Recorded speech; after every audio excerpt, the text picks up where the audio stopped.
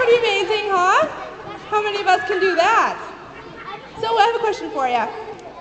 Who is your role model, and tell us why? I guess that would have to be my father. And why is that? Because he's so supportive of me being in this pageant. Oh, that's good. Thank you.